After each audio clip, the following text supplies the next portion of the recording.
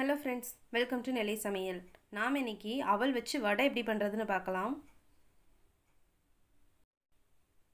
நான் இன்னைக்கு ஒரு கப் அவல் எடுத்திருக்கேன். கழுவி சுத்தம் பண்ணி வச்சுருக்கேன். அதோட ஒரு கப் தண்ணி சேர்த்துக்கோங்க. ஒரு பத்து நிமிஷம் அப்படியே ஊற விட்டுருங்க.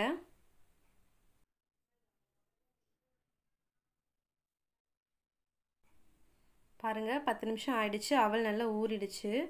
இப்போ இதில் தண்ணி இருக்குல்ல அதை நல்லா பிழிஞ்சு விட்டுருங்க. சுத்தமாக தண்ணியே இல்லாத மாதிரி பிழிஞ்சு தனியாக எடுத்து வச்சுடுங்க. பாருங்கள் இந்த மாதிரி எடுத்துக்கணும். இப்போது இதோட ஒரு கட் பண்ண வெங்காயம் சேர்த்துக்கோங்க.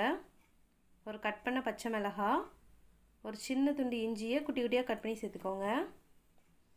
கொஞ்சமாக கருவேப்பிலை கொஞ்சமாக மல்லி இலை ஆஃப் டீஸ்பூன் சோம்பு ரெண்டு டேபிள் ஸ்பூன் அரிசி மாவு ரெண்டு டேபிள் ஸ்பூன் தயிர் தேவையான அளவு உப்பு. இதெல்லாம் சேர்த்து நல்லா மிக்ஸ் பண்ணிவிடுங்க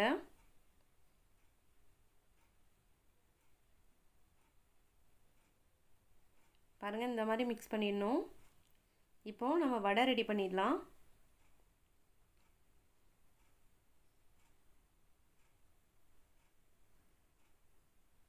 நீங்கள் அப்படியே கூட போட்டுடலாம் ஒன்றும் பிரச்சனை இல்லை. இல்லை நடுவில் ஒரு ஹோல் போட்டு போடுறதுனாலும் ஒன்றும் பிரச்சனை இல்லை. எப்படினாலும் நீங்கள் போட்டுக்கலாம்.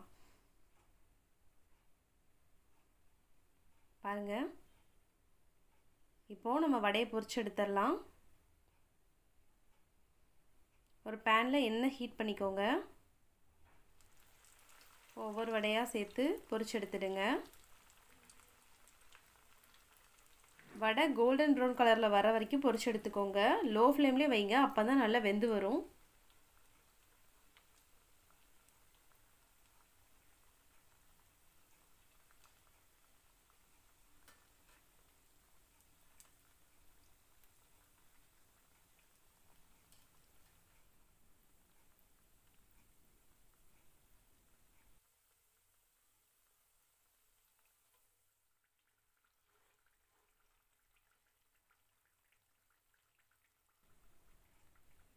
ஒரு பக்கம் வெந்ததும் அப்படியே திருப்பி போட்டுருங்க.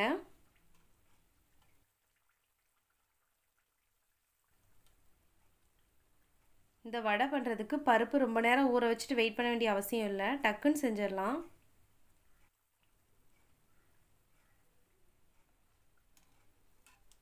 பாருங்கள் அவ்வளோதான் ரொம்பவே ஈஸியாக ரெடி ஆகிடுச்சு